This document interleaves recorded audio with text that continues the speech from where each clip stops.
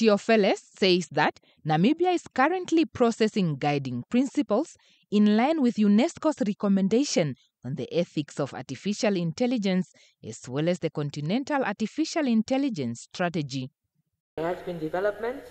Namibia has participated in UNESCO's AI Readiness Assessment Methodology, RAM for short, this year, which aims to assisting countries in evaluating existing frameworks, capacities, and competencies for ethical development. The minister says they are working to address some constitutional gaps by finalizing key legislation, including the Data Protection and Cybercrime Bill.